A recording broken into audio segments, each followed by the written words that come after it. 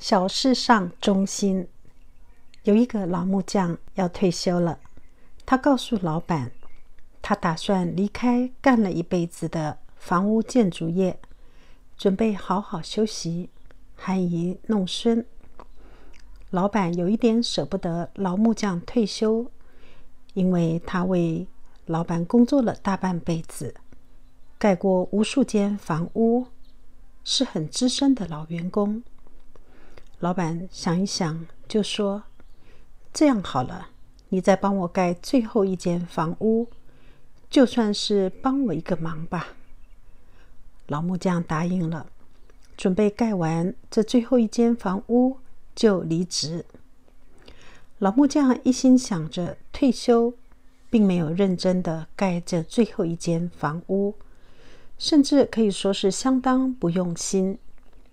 不但手工粗糙，连一些建材也心不在焉的使用了好些次级品。用这样的态度跟表现，来为他这辈子所从事的行业画下句点，作为他结束前的告别作，的确令人惋惜。老木匠终于盖好了这一间房屋了，懒洋洋的告诉老板。要老板前来验收。老板把整个房间、把整个屋子仔细的看了一遍，然后拿出这间新屋的大门钥匙，递给老木匠，说：“这是你的房子了，是我送给你的退休礼物，好好享受你退休的日子吧。”老木匠大吃一惊，万分懊悔。多么可惜啊！早知道这间屋子是造给自己的，他一定会用心一点，把它造的美轮美奂。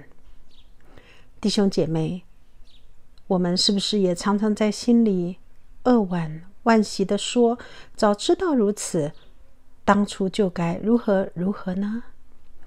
但愿我们在地上操练，在小事上忠心，好叫我们将来见主面时。不会羞愧，反而得到神的奖赏。